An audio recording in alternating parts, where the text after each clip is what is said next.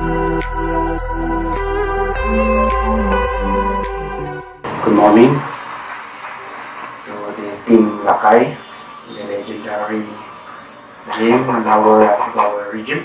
I am uh, Francisco Wang Jr., teacher of Happy Hollow National High School.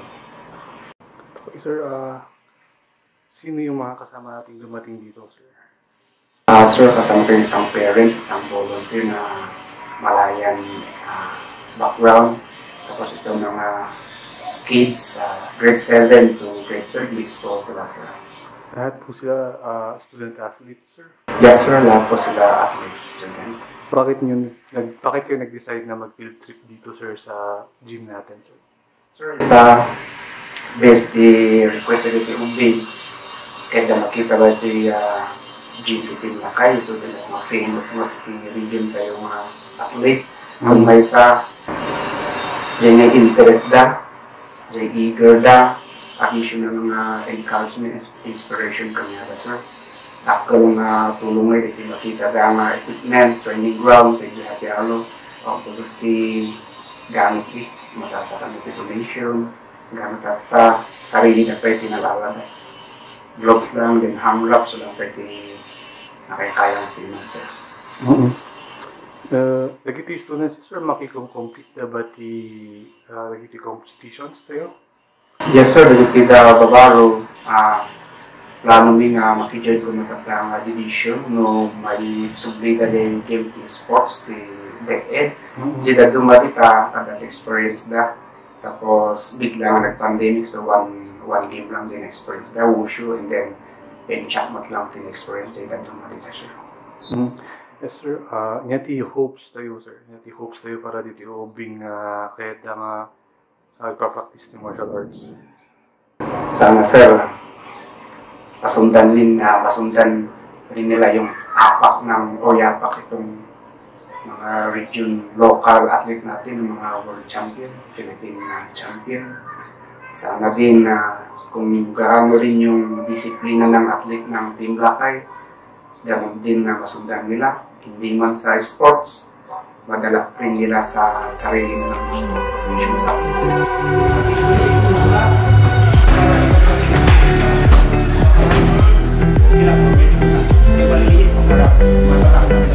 Track ni Meijin Damian, um, 17 years old from Happy Hallow.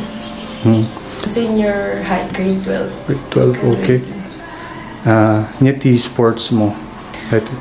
Um, first sport ko is um, running and throwing athletics.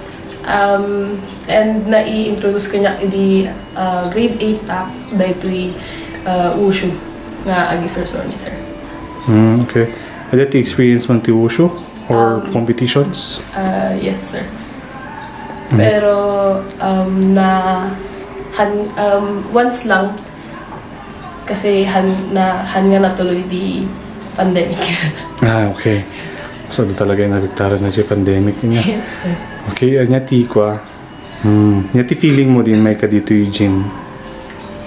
Um, first na naabahan kan na na overwhelmed kasi they feeling nga ada ka dito yung gym team may sangan known team at kas lang nga kahit mo nga ipakita kan itad day best mo nga ada ka dito di ada ka dito yung gym di first ko nga na feel di inom na ka dito yung gym sir Hmm. Feeling na naka-receive ka instructions from a pro athlete kasama ni Adonis. um, na uh, na mas nag-motivate nga um, ituloy-tuloy ko dito nga sport ko. Kan um, nagkaroon ti desire nga um, maki, makakompete Hmm. kayo nga ka. Okay. Uh, dati plans mo for pro-am or professional martial artist? Pro ampay lang. Pro-am. So you hope hopes mo agbalin niya pro-am. yes, sir. Okay. And lastly, nyati kaya't mga may bagay team lakay. Um, uh, thank you for welcoming us here, DJMU, and um, thank you kasi niya din. Um, da kayo, day ka sa naging um, manong kan manang mi pagkitaan mi uh, inspiration kan nga uh, itultuloy mi ti kayat mi nga uray man uh, kastoy ti uh, pagsisinabali ti sitwasyon ti may saan may sakat ada kayo nga agipakpakita nga uh, ilablaban nyo nga uh, ilablaban nyo ti um, kinabaalan nyo Okay.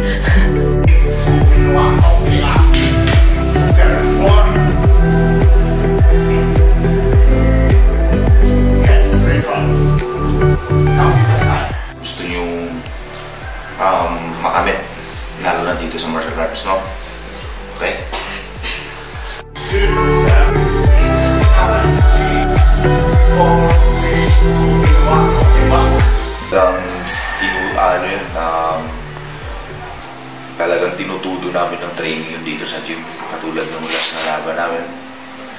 At ah, pagkatapos ng one week before yung laban, yun, bumaba na kami sa Manila. Doon na namin, doon na kami nag-focus na natin. Yun yung mahirap sa awit bago yung laban mismo. Kasi kailangan, nandun pa rin. Tulad ng pakiramdam ng amateur ako, nandun yung lalo na pagpasok mo mismo sa ringo. Buhulihin ka ng kaba, pero Siya gayam ni Mauro Lacunosay Jr. mm, from Baguio City. 12 years old nagsisilak di Akihalo National High School. Kaano ka nga nagrugi nga nag-train ti Wushu? Mm, grade 4 grade 4 in Ganatanta. 3 years ano? Three years. Nyati kwa, nyati feeling mo di first ka nga sinmang pati ti gym. Mm, mayat gamin kala nga nakitak dagi idols ko. Okay. Tata nyati kwa. Ada ba ti experience mo ti competitions? Awan training training. Training, training ba lang? Nyati hopes mo or nyati kahit mo nga ma- maabot kahit mo ba nga ag-pro am, da fulayang ko. Mm, okay. Sino ti pinaka-idol mo dyan team na kayo? ni Joshua Pasio kan ni kan Luman kan ni mo. Hmm, apa nga iso dati kayat mo? Kin no pagsarak da di di mo ka talaga nga ipakita dati lang jam. Hmm, okay. Tata nyati kwa, nyati kahit mga ibaga EJ idol mo dito yung team lakay. Mm, keep up naman mm, arami dan dati bis da kan karagat da everyday man. Okay.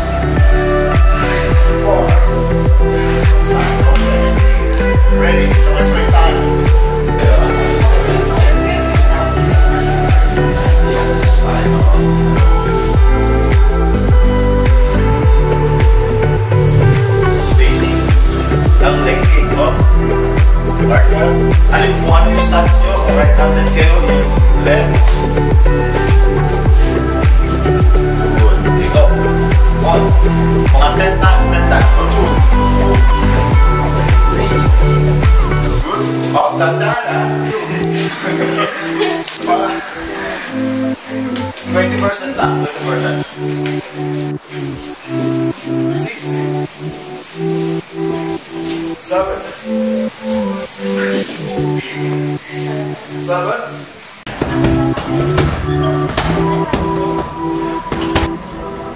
Siya ni Rio de Rosario, uh, 12 years old duck. Uh, happy Halloween National High School. Okay. Ah, apa nga nagrugi ka nga nag-iayam ti Wushu? Uh, interesado ako. Apa nga nag-interesado ka? Gamin di ubi nga kat, kahit ko baki makidit na lobya. Okay. Nyati na dapat i-experience mo ti competitions? Lagi kang compete kan ba? Hanpay? Pa? Hanpay. Nyati feeling mo di first ka nga inom nagdito gym? Ti team lakay? Uh, excited ako. Hmm. Na-excite ka? Yes, sir.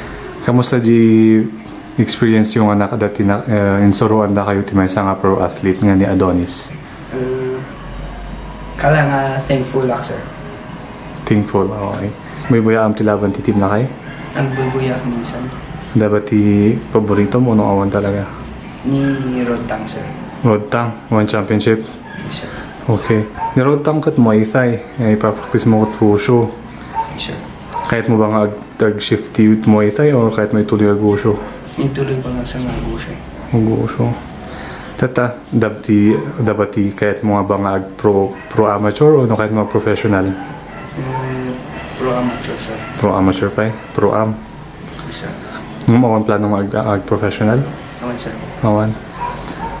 Kaya inyati ko ah. Inyati, dati kahit mga ibaga iti para titim lakay.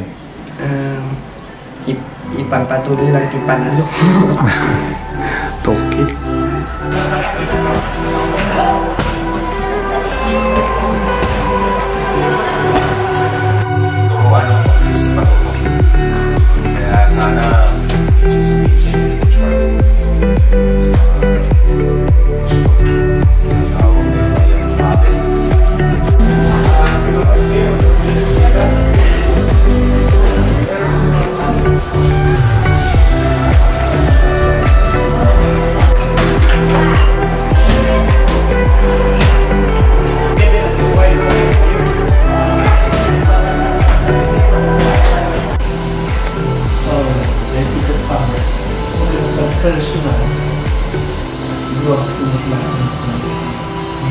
In your work, kasi reflect ko lang di trabaho mo. Ay, pagkabalik yung operation.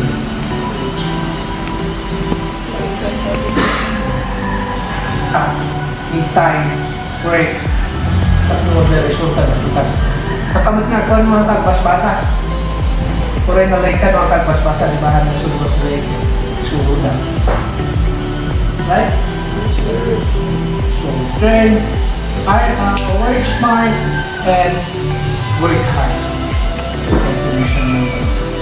Martial arts ka tapaling kayo mga champion in the Philippines. Malaman kayo ma-choose ko itong uh, kaya. Because I believe haling ka na kayo ka talaga itong yapos na linyanan to. But remember the gay qualities nila.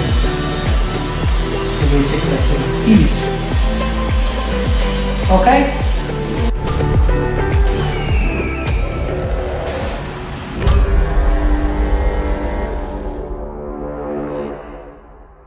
Hi, this is Lito the Thunder Kid the Diwang. For more Team Lakay stories, click subscribe. Pa! Hoo!